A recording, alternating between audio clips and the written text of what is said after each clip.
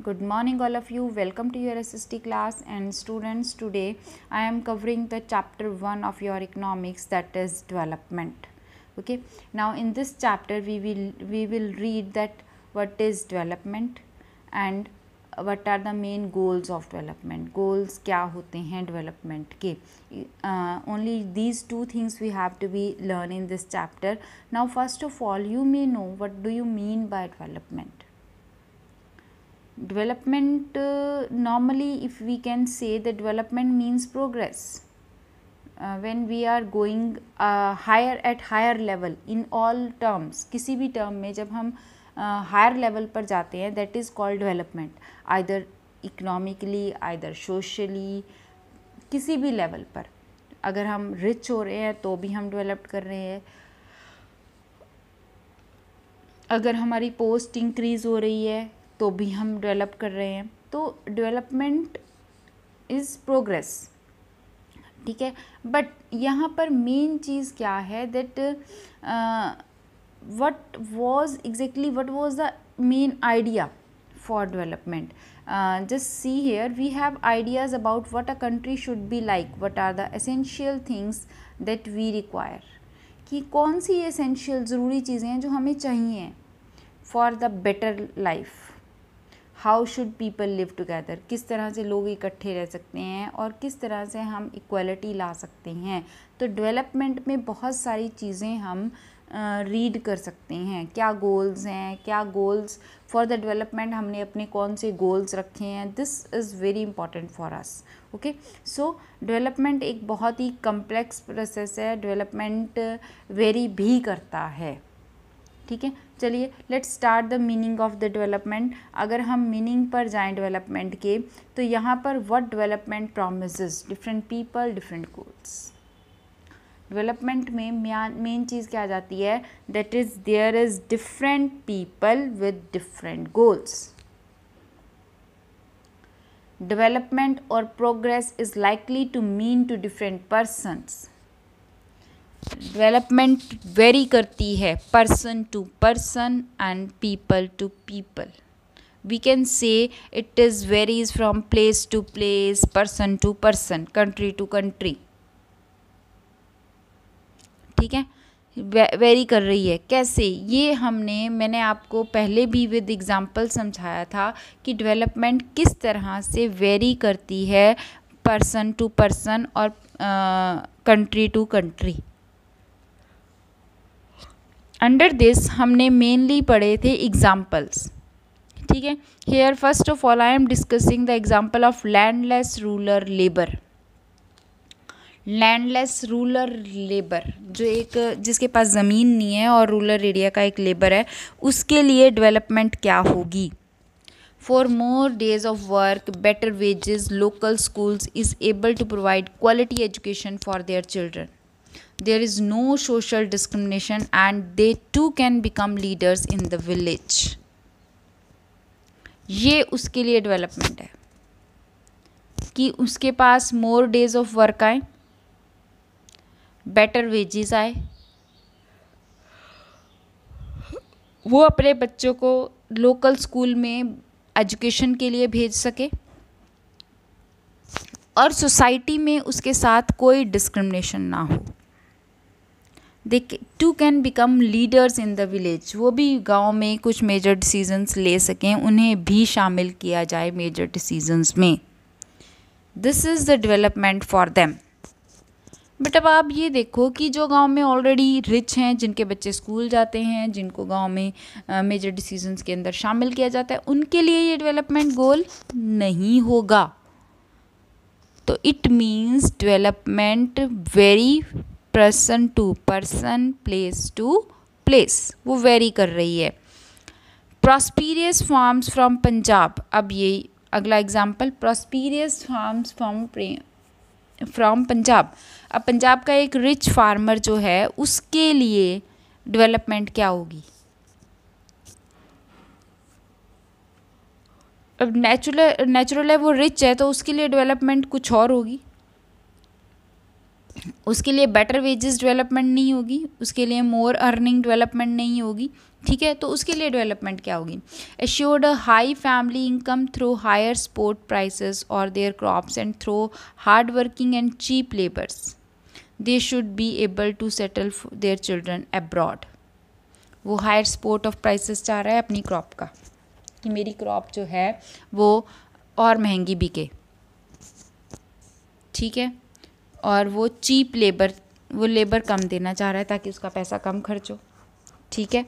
इसके साथ साथ वो क्या चाह रहा है कि उसके बच्चे फॉरेन कंट्रीज़ में अब्रॉड जाकर सेटल हों। ये उसके गोल हैं। ठीक है? अब वही बात आ गई ना कि गोल क्या कर रहे हैं? वो डिफ़र कर रहे हैं place to place person to person clear बच्चे, ये एग्ज़ाम्पल्स आपको ध्यान में रखने हैं। And even you have to be imagine yourself कि कौन से पर्सन के क्या गोल हो, क्या गोल हो सकते हैं।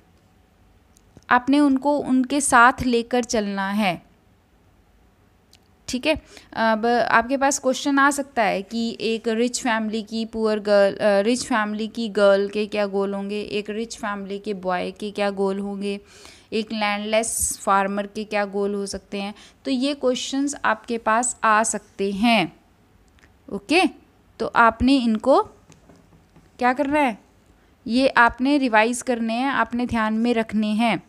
ओके तो मैं अभी सारे गोल नहीं पढ़ रही हूँ, बस मैं आपको ये बता दिया दैट कि डेवलपमेंट क्या है? Development very from place to place and person to person here the definition of development different people can have different development goals and what may be development for one may not be development for the other it may even be destructive for the other ये बड़ी important thing है development के अंदर।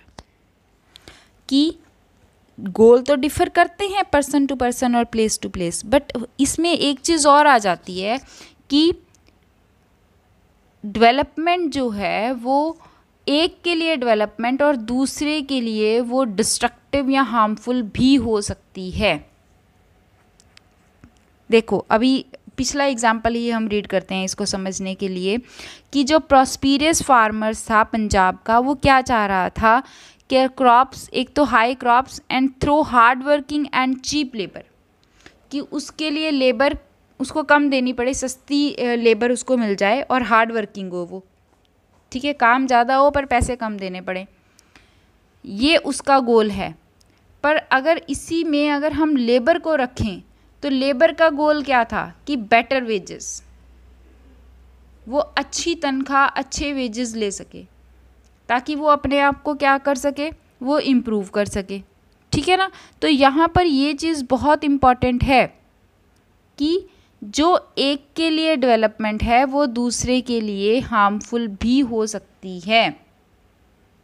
तो development is important development varies from person to person but they may be destructive one for development once development can be destructive for the other वो दूसरे के लिए डिस्ट्रक्टिव भी हो सकती है।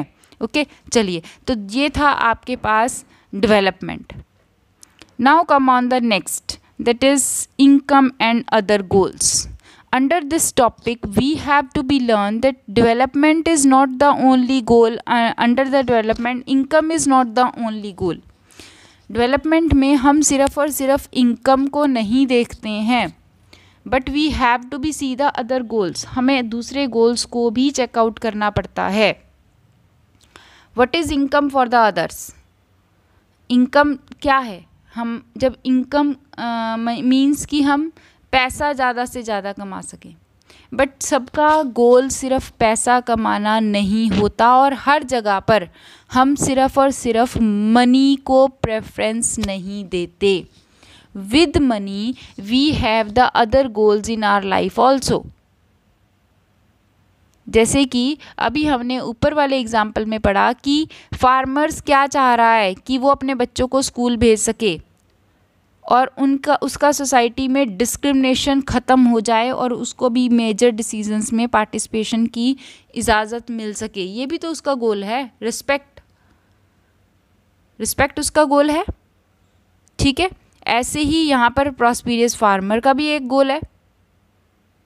मनी के अलावा कि वो अपने बच्चों को ब्रॉड में अब्रॉड में सेटल कर सके।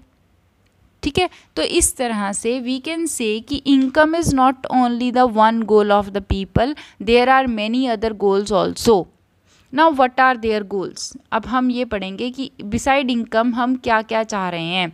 Besides seeking more income one way or other people also seek things like equal treatment freedom security and respect for of others they resent discrimination वो डिस्क्रिमिनेशन को दूर करना चाहते हैं रिस्पेक्ट चाहते हैं इक्वल ट्रीटमेंट चाहते हैं फ्रीडम चाहते हैं सिक्योरिटी चाहते हैं।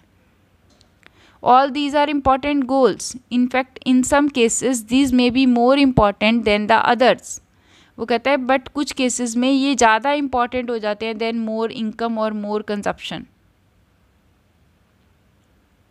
क्यों? क्योंकि material goods are not all that you need to live कि सिर्फ़ और सिर्फ़ पैसा ही सब कुछ नहीं है हमारे लिए, जीने के लिए सिर्फ़ हमें मटेरियल गुड्स नहीं चाहिए कि हमारे पास मनी हो, हमारा घर हो, इसके अलावा भी हमें बहुत कुछ चाहिए होता है। We need respect we need freedom ठीक है? We need hygienic environment we need safe drinking water okay तो ये भी हमारे गोल हो सकते हैं। अब मैंने आपको प्रीवियसली जब ये चैप्टर समझाया था तो वी सी अ एग्ज़ाम्पल हमने एक एग्ज़ाम्पल लिया that in our life what things are necessary इसके लिए, ठीक है? देखिए for example if we get a job in the area where we already live means our our residential area हमारे residential area में हमें एक जॉब मिल रही है विद लेस सैलरी कम सैलरी के साथ, ठीक है? बट एक जॉब हमें, हमारे से दूर, जहाँ सपोज़ हमें दिल्ली, बॉम्बे जैसे शहर में मिल रही है, ठीक है? बट वहाँ पर सैलरी ज़्यादा है। तो हम किस जॉब को प्रेफरेंस देंगे? अब हम जब मुंबई की जॉब को देखेंगे तो हमें पहले बहुत कुछ सोचना पड़ेगा। We have to be see कि हमें पूरी फैमिली शिफ्ट करनी पड़ेगी। हमें हमें बच्चों को वहाँ पे नए स्कूल्स में डालना पड़ेगा। एजुकेशन पैटर्न चेंज होगा। ठीक है? घर लेना पड़ेगा, किराए पर मकान लेना पड़ेगा, मकान का किराया भी देना पड़ेगा। यहाँ पर हम अपने घर में रह रहे हैं। ठीक है? फिर नई जगह, नए लोग, नई सिचुएशन न्यू इन्वायरमेंट सब कुछ में हमें सेटल होना है। And moreover most important हमारी इनकम जो हम इंक्रीज़ करने की कोशिश कर रहे हैं, वो वहाँ पर इंक्रीज़ नहीं हो पाएगी।